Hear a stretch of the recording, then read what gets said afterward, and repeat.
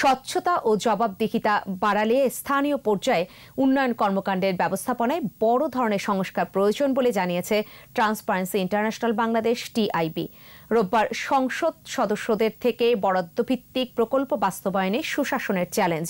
শীর্ষ গবেষণা প্রতিবেদন প্রকাশকালে এমনটাই জানিয়েছে তারা।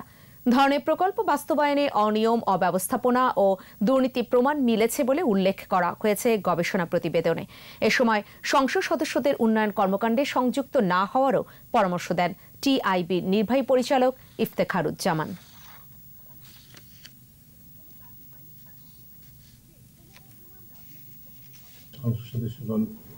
উন্নয়ন কার্যক্রম বা ক্রয়, বিতরণ, রাষ্ট্রীয় খাতে এই ধরনের কার্যক্রম ক্রমে জড়িয়ে পড়লে যেটা হয় যে স্বার্থের দ্বন্দ্বের সৃষ্টি হয়। এবং সেক্ষেত্রে জবাবদিহিতার কাজটি তাদের পক্ষে করা সম্ভব হয়।